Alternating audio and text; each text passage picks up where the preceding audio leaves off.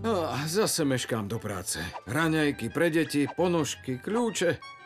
Ah, Ježiš, dlhujem ti modlitbu. Dnes som nemal čas. Hej, počkaj! Nevieš, že ľudské srdce stále túži po modlitbe. Dokonca podvedome, ak si nenájde čas, nebude spokojné. Preto je dôležité vybudovať si k Bohu vzťah, ktorý je priateľský a vrúcný. Je v poriadku, že veríš v Boha a dúfaš, že ti pomôže v ťažkostiach. No naozaj ho miluješ? Alebo pre teba predstavuje len všemohúceho, ktorého každý musí poslúchať? Je to tak však? No, slová modlitby majú zmysel len keď Boha umiestnime v našich srdciach nad všetko ostatné. Len tak budeme šťastní.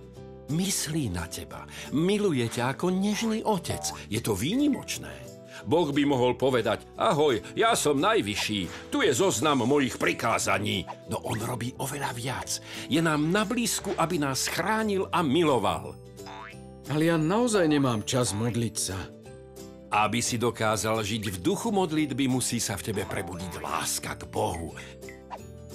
Vravíš, že sa mám modliť, aby som zatúžil modliť sa? Presne tak. V poriadku. Drahý všemohúci Bože, pomôž mi. Nie, nie, nie, nie. Hovor to s dôverou. Duch Svetý nás učí povedať Otec, tak ako to hovorieval Ježiš. Pamätaj, že Duch Svetý nám pomáha dostať sa z každodennej rutiny, keď nemáme času na zvyš. Pomáha nám nájsť pokoj pri vykonávaní bežných povinností a objaviť radosť z nečakaných darov.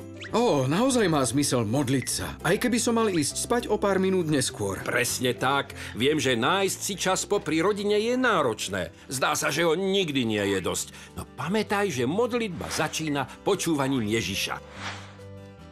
Máte doma Bibliu však? Čítate si ju ako rodina? Rozímate pri posvetnom ruženci? Srdce naplnené láskou k Bohu dokáže premeniť jednoduché myšlienky na modlitbu, dokonca aj bez slov. To je láska. Takéto gestá srdca sú veľa vravnejšie než slová. V rodine sa dá robiť tak veľa vecí.